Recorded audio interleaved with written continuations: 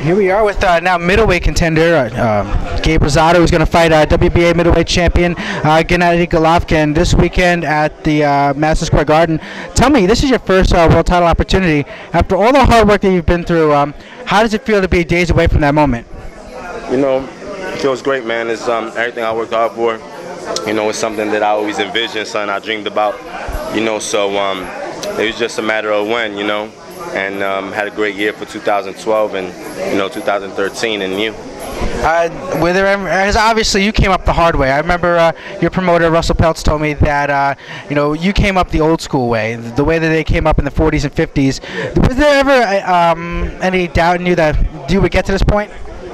Um, say that again, man. Did you ever doubt that you would see this point right now? No, no, man, never. I'm saying this is what I expected. I mean, I was um, feel like this is my destiny, you know. So I never doubted myself. Now, of course, um, you're fighting a highly regarded undefeated fighter, uh, Golovkin. Tell me about uh, just the way that. What do you think about him as a fighter, actually? I mean, I respect him as a fighter. You know what I mean? I just feel like I'm the better pro. I feel like I fought the better competition, but I mean, it's all good. You know what I'm saying? Like they're all hyped about him, but you know, I'll, I'll prove the, the world wrong that you know, not that he's not good, but I'm better. You know what I mean? So I'll, I'll prove that on the 19th. Um, you know, he he said I asked him about you, and he was and he said, well, he's a good fighter, uh, strong fighter at 154. I don't know about middleweight. What do you think about that? I mean that's that's his opinion. Who cares? I mean, I think you know once once he feels my power in the ring and realizes you know that I'm a strong guy as well, you know, it'll, it'll be a, a, surprise to him because it's something he's not expecting.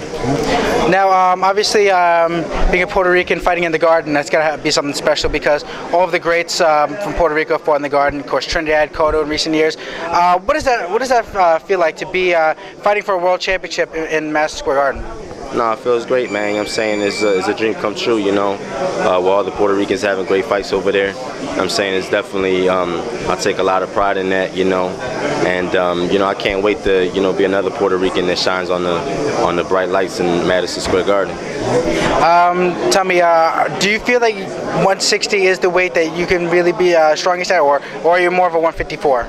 I really don't think it matters, man. I think with my size, I could dominate 54 or 60. Awesome. Thanks.